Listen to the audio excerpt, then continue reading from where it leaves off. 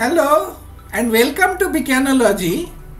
Today we will do an experiment about photosynthesis. A very common experiment. Most of you know that. But how to do it? It will be much better if I explain. So here there are two type of experiment. One where we take some hydrilla plant or any aquatic plant will do. This is hydrilla plant, aquatic plant so we need hydrilla plant which is very common in pond. If you don't get any other water plant will do. We need a bucket full of water, a beaker with a funnel which fits on it. So 500 ml beaker with a funnel, a test tube and some hydrilla plant. So here first when we take hydrilla plant we will cut that into more or less 3-4 inch thing. And then we will put that inside the beaker such a way that the cut part is on the top. After that we will give water in this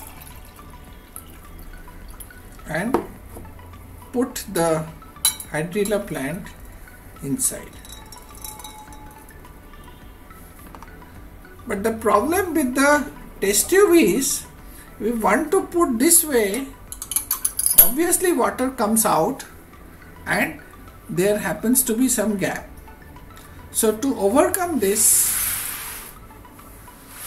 we will put everything inside the bucket.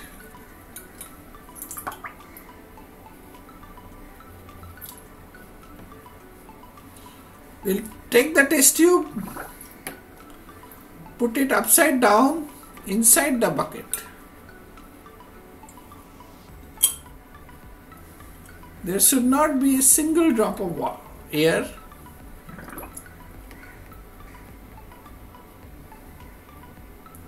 There should not be a bubble here and then slowly we will put it inside and take it out when we take out there is not a bubble inside.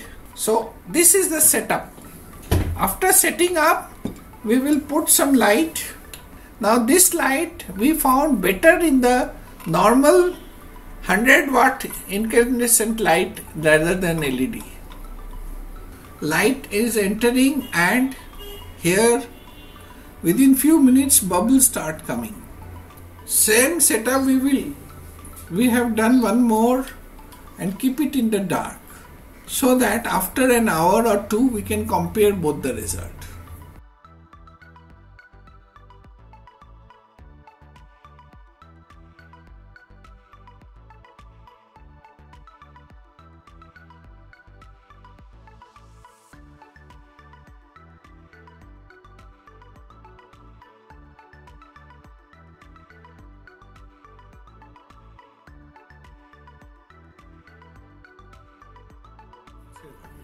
After few hours in light, we found lot of bubbles coming in up and there are some oxygen start accumulating. After few days only this become fill up. So this is a little time consuming and difficult experiment. But if you do not have hydrilla plant, it's difficult to do or similar aquatic plant.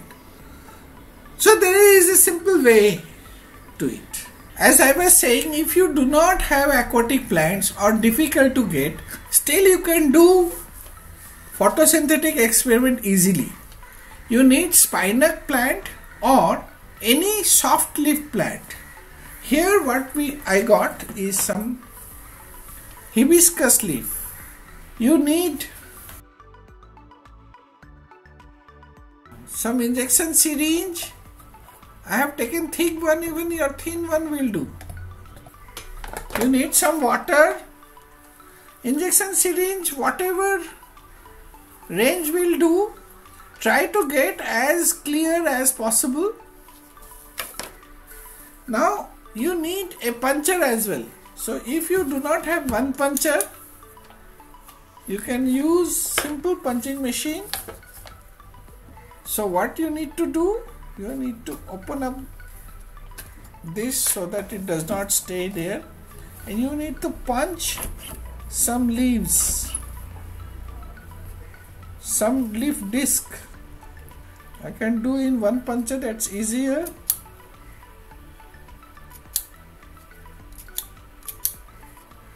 Try not to get from the vein. So here these are all there. I'm showing you what I got.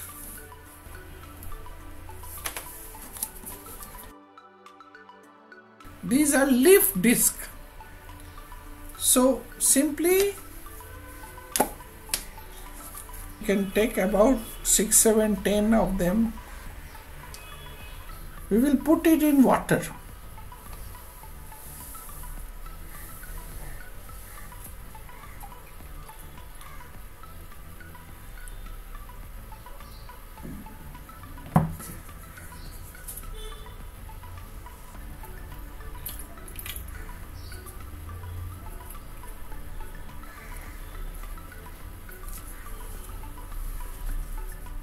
These leaves are all floating. Now what we need to do, we need to press this and when we do pressure, slowly gas is removed and so this sinks. If it comes back again, you can again do the same thing, pressure and it will remain synced. You have to wait until all remains sunk. Now after this the whole setup is kept in light. Slowly you will realize that this started floating again. Why it floats? Why it floats? Initially it was floating because there was some air in it. Now when you give pressure all the air bubbles comes out and it remains filled with water. It cannot float anymore.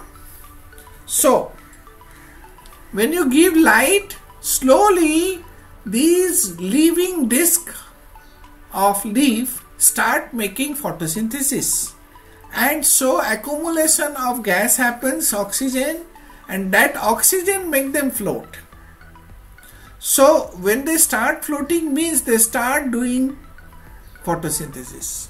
It's a very simple experiment. So we have done two set. One we will keep in dark, one we will keep in light. So this is the setup and we will keep the time maybe one hour, half an hour, whatever.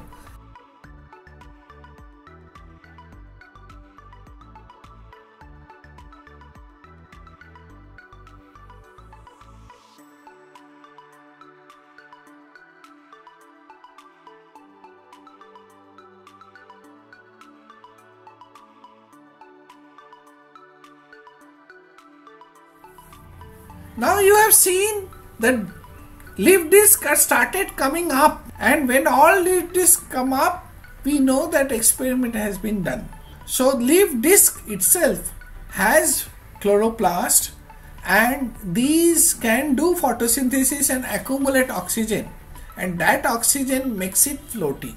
So it's a very simple device. You don't need aquatic plant. Any soft leaf will do and a punching machine which is easy to get here I have removed the punching machine's base so that whatever I punch it falls down.